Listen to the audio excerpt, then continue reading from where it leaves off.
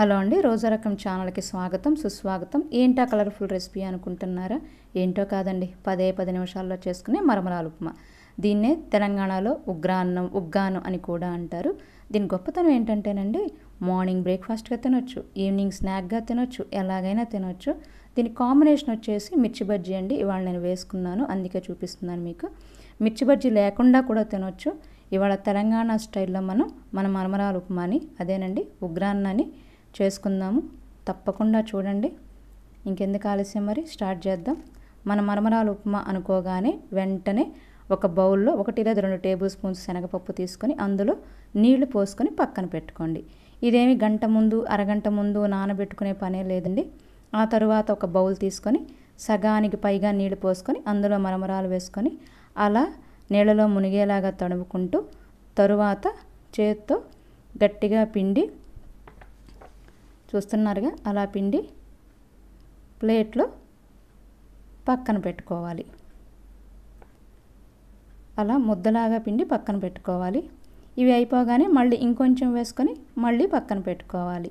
అలా మనకి ఎన్ని మరమరాలు కావాలో అన్నీ పిండితో పక్కన పెట్టుకుంటే అలా రెడీ అయిపోతాయి. ఇంక ఇప్పుడు మనం ఉప్మా చేసుకుందాము. కళాయి తీసుకొని వన్ టేబుల్ స్పూన్ ఆయిల్ వేసి అందులో ఆవాలు జీలకర్ర శనగపప్పు మినప్పప్పు వేసుకోవాలి. వేసుకున్న తర్వాత కొంచెం సేపు వేయించుకోవాలి. వేగిన తర్వాత సన్నగా తరిగిన ఉల్లిపాయ పచ్చిమిర్చి వేసుకోవాలి. ఎందుకంటే ఇందులో కారం వేయమండి. అందుకని మీరు కొంచెం కావాలంటే పచ్చిమిర్చి వేసుకోవచ్చు. అదిగోండి కరివేపాకు కూడా వేసాను మన పోపు కమ్మటి వాసన వస్తుంది. కొంచెం ఉల్లిపాయ వేగిన తర్వాత ఇందులో కొంచెం అల్లం వెల్లుల్లి పేస్ట్ వేసుకుందాము. ఎందుకంటే ఇది వేస్తే చాలా చాలా బాగుంటుందండి. మీకు వద్దు అనుకుంటే కదా వేసుకోకపోయినా ఏమీ కాదు. కానీ వేసుకుంటే ఇంకా ఇంకా చాలా చాలా బాగుంటుంది. ఇప్పుడు ఇందులో కొంచెం ఉప్పు వేసుకుందాము. ఉప్పు వేసుకున్న తరువాత జింజర్ గార్లిక్ పేస్ట్ వాసన పోయేంత వరకు వేయించుకొని ఆ తర్వాత అందులో సన్నగా తరిగిన టమాటా ముక్కలు వేసుకోవాలి. టమాటా వద్దు అంటే వేసుకోవద్దు. అలాగే ఆ తర్వాత ఇప్పుడే నానబెట్టుకున్న మనం పచ్చి శనగపప్పు చూస్తున్నారుగా? వేసుకోవాలి. ఇప్పుడే నానబెట్టి ఇప్పుడే వేస్తున్నాం కదా గట్టిగా ఉంటుందేమో అనుకుంటున్నారేమో? ఏమీ ఉండవండి. ఇవి కుక్ చేసేటప్పుడు ఆ శనగపప్పు నానిపోయి చాలా చాలా బాగుంటుంది. ఈ రెసిపీకి హైలైట్ కూడా ఇదేనండి. తినేటప్పుడు పంటి కింద తగులుతూ చాలా చాలా బాగుంటుంది. ఆ తర్వాత మూడు నిమిషాలు మూత పెట్టి తీసిన తర్వాత టమాటా మగ్గిపోతుంది. అందులో కొంచెం పసుపు వేసుకొని ఇందాక మనం నీళ్ళలో పిండి పక్కన పెట్టినాం కదండి మరమరాలని అదిగోండి. వాటిని వేసుకోవాలి.